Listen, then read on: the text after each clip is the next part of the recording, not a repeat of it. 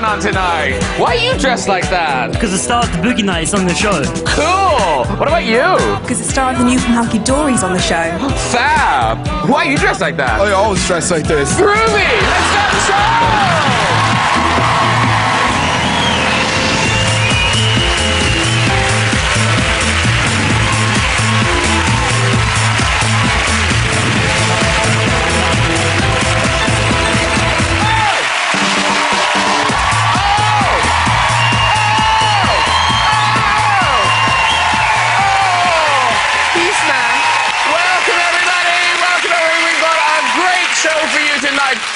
Oscar-nominated film star Mark Wahlberg is here.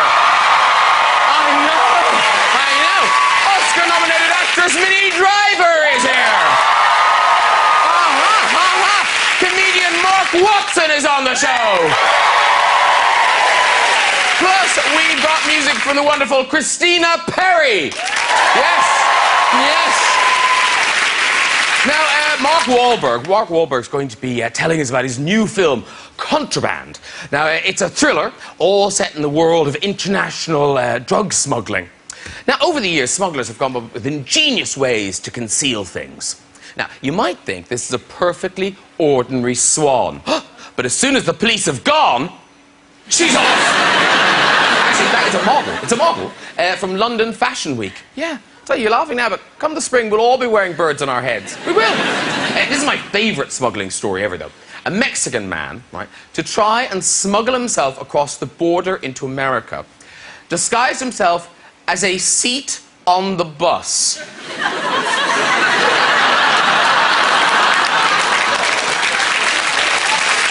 Genius.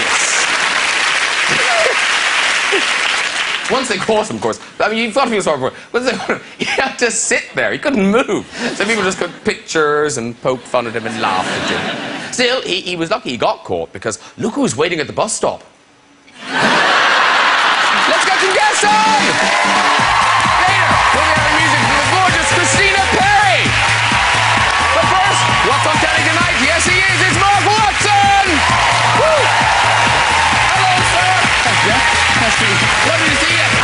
Seat. Mark Watson. Last new seatbelts. It's Minnie Driver. Woo! Mwah, mwah. Lovely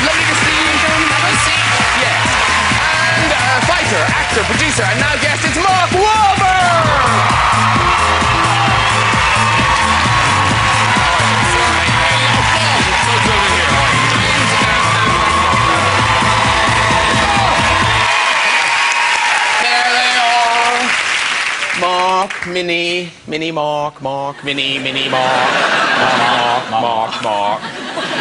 They've met, they've bonded. And uh, Mark Wahlberg, welcome to the show. First time having you. And welcome to London, indeed. You yes, very good. Um, and are you okay? Did, is it you just come from Australia? Yes, I'm very jet lagged Are you really in a bit. and hungover. Oh, really? Yes, it's a double whammy. That's good, though, isn't it? So if I make no sense whatsoever, please forgive me. Don't worry, you'll fit right in. Uh, and uh, did you have fun in Australia, or was it all work? It was all work. We actually uh, we flew down. I was there for one day, and then we flew right uh, from Australia to Dubai and Dubai to here. Oh my God! Yeah. They treat you like an animal. Could animal. be worse. I've been to prison, so Oh, okay. Yes. Have you? yeah, only for a short time. Don't be nervous. It was long ago. Minnie's all excited now. She's, have you? Because Do you like prison? No, but I would love prison break.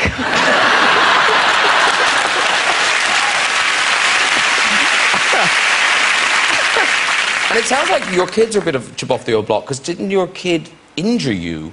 It was it karate he did on you? Uh, karate, boxing, whatever, whatever they can do, whatever they're choosing at the time. So are they trying to hurt you? It's not accidental. Oh no, very much so. very much so. Because how old are they? Uh, for five and three. And it's like, Dad, come on, let me kick you in the nuts. Come on. no, it hurts. And they, they love to box. They love to fight. But even my three-year-old, who's probably the toughest one, he's terrified of his little sister. Oh, really? She's a biter. And you probably hit her back. She puts the bite and the pinch on. Are you, are you a new dad, Mark Watson? Uh, my kid is two today. Oh, oh. Yeah. Uh, Well, you um, you say ah. Some people would actually be there at the party, but there we go. Hashtag terrible father.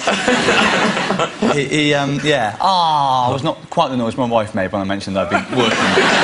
but luckily, he's obviously he's, he's too small. It's, the, the big action is over by now. I can just Your sit by wife his will bed and never say- let you live that down. Well, no, I mean, I. She's going to say it's okay. You better, you better do some it serious shopping. yeah, Listen to this, Mark. I'm might have to throw money at the problem, yeah. But, I, you know, it's...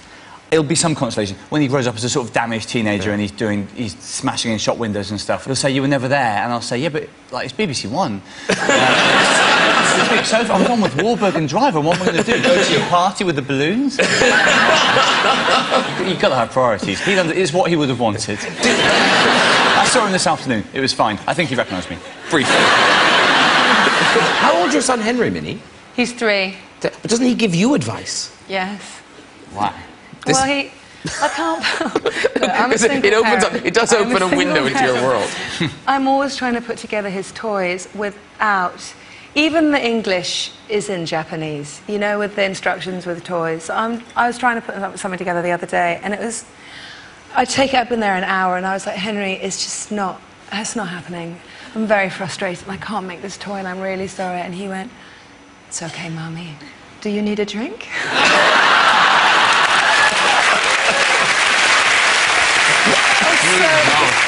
It was so horrible. I was trying to think of all the times that you must have heard me go, Oh my God, I just can't do this. I gotta get a drink.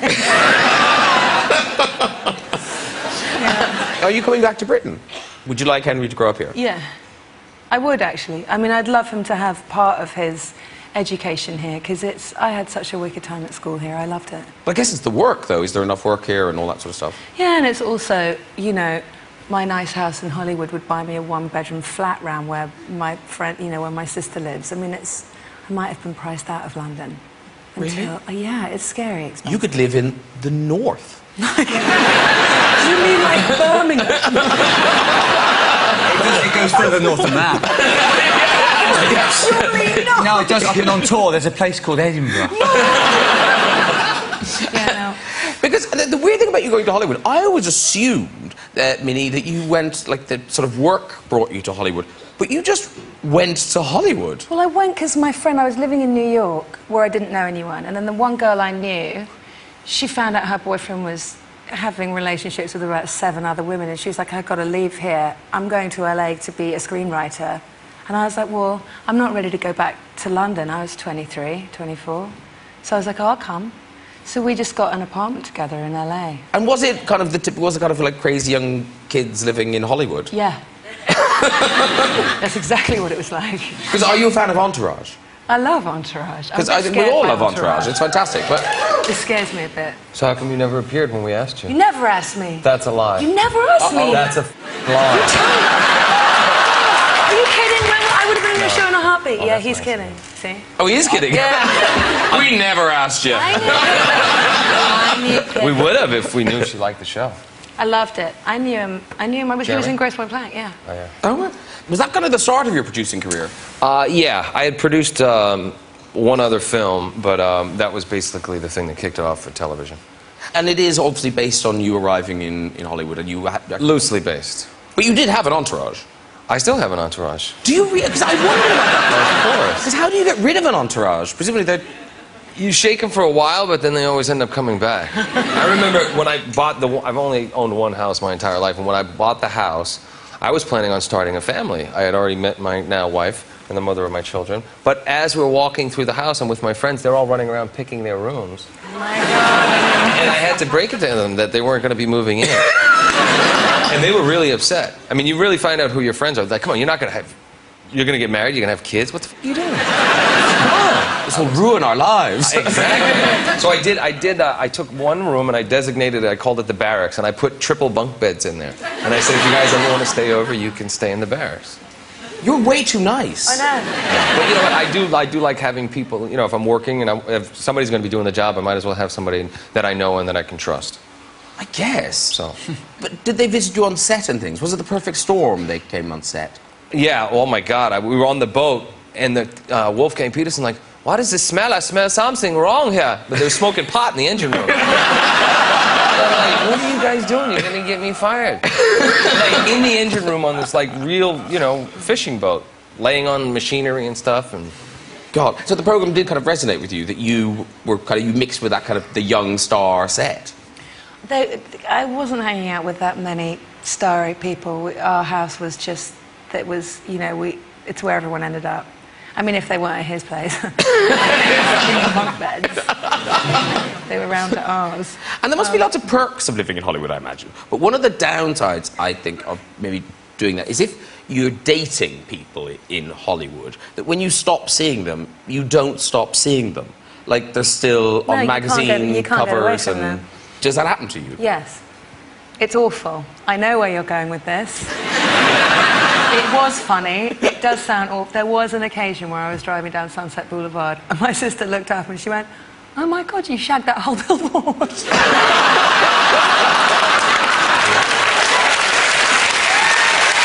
was, and it was two big relationships over 10 years.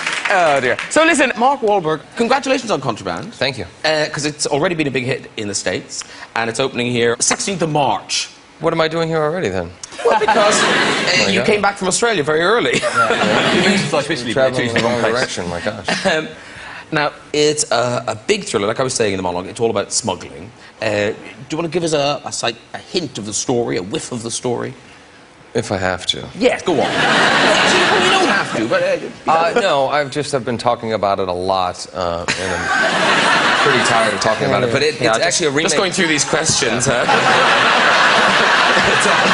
it's a, uh, a You may be talking about it a bit more.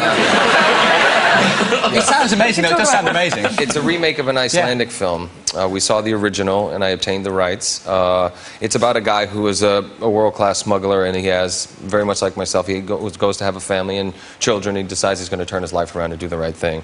And then he's got a brother-in-law who's not very smart, and he tries to smuggle something for some very dangerous people. Customs boards the boat, slash I have to go into Panama to try to smuggle something to save his ass. And when you were filming, uh, obviously you filmed in New Orleans, but then you filmed in Panama, Uh-huh. where it seems quite kind of lawless. Was that quite dangerous? You know what? It was. We got off the plane and we just basically we were free to do whatever we want. We had machine guns and riding around the streets. When nobody ever kind of regulated what we were doing. But no policeman ever came up and said, "Why are you having a major gunfight?" One, one guy asked me if I was somebody else, and I said no, and that was that was pretty much it. What, like, you know, his mate who killed his brother? No, he thought I was, he thought I was a guy from some other show. And- so I just said no. Then I tried to convince him that I was Johnny Depp, but he didn't. But is it contraband? We've got a clip of contraband. Uh, this is you and Giovanni Ribisi having one of your, your many confrontations. It's kind of earlier in the film. With Giovanni Ribisi? Have you ever worked with him? No, but I know him. He's a great guy. He's a he? good guy. He's such a sweet guy, and then when he plays this larger-than-life villain, it's uh, it's pretty remarkable to see him go in and out of character like that. No, he's really scary. He's properly scary in the film. Here we go. Good fights. He uh, he's a he's a method actor, but he doesn't like to go method when he's getting his ass kicked. Unfortunately, I had to uh, you know crank up the volume on him a little bit. Because you do really enjoy those fights. When I'm the one beat person, yes, I don't like getting beat up. it doesn't work for me. Do you find because it, it must be odd for you now because you're kind of accepting the, as you said, you know, you're a man, you're a dad, you're getting older. Because wasn't there a confusion with a, a script recently? Oh my God. I got a call from my agent saying that Paramount has this movie that they want me to do. A young guy and an older guy, so I'm thinking, shit, I, I just had uh, played golf with Jack Nicholson. I'm like, I'll ask Jack to play the part. And then I was like, well, maybe if Jack doesn't do it, you know, you get, you know, Gene Hackman hasn't worked in a while. So I'm thinking of all these great guys that I can do this movie with. And then they call me and they say, what do you think about Garrett Hedlund? And I said, for what? Oh, God. And he said, for the young guy. I said, what the f am I going to? And literally, I was, and I just started laughing to myself, and I was like, you know what? I, I, I appreciate the fact that I even made it, because there was, you know, there was some, uh, some dodgy years there when I was younger. So to have made it to 40 was an accomplishment, but I, I didn't quite expect that.